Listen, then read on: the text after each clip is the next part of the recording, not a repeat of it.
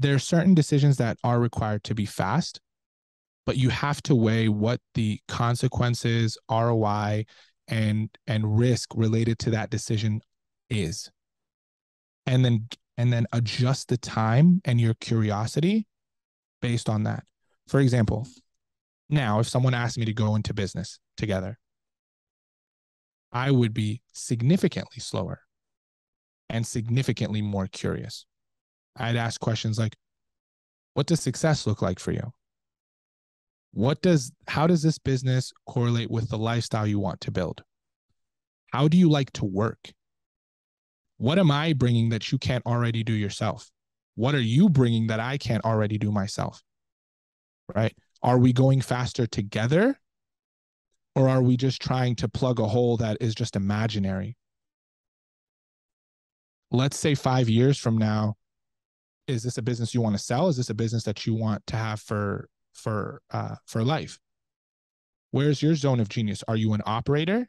Like, do you want to be in the trenches day to day, or do you feel like you're more of a strategic thinker and you want to be CEO? What role do you see me playing?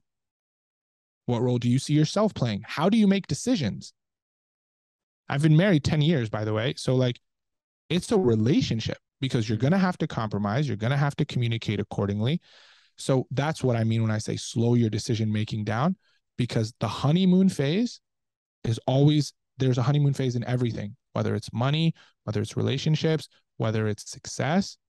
You have to be able to see the step after the honeymoon phase, then the dip that inevitably comes from it, and then go. And sometimes you you yeah, trust your gut because you don't have enough knowledge, but ideally you have a network of people that you can go and say, "Hey, I see that you're in business with a partner, for example, in my situation. Tell me what that's like. Hmm. Tell me the good, the bad, the ugly, the beautiful, all of it. I want all of it. And then you go to the person that you're considering going into business with and you ask those questions. Vice versa. Like a lot of people see these really successful content creators. I get the DMs all the time and I don't even consider myself successful. And they're like, how do I get to, uh, uh how do I get to this many followers? And I'm like, what do you think it takes to get to this many followers? So I gauge, so I gauge their baseline. Okay. Why do you want this many followers? They give the reason. And then when reality hits someone in the face, they're like, then they're able to ask themselves, do I really want what I think I want? Because I'm only seeing the honeymoon phase.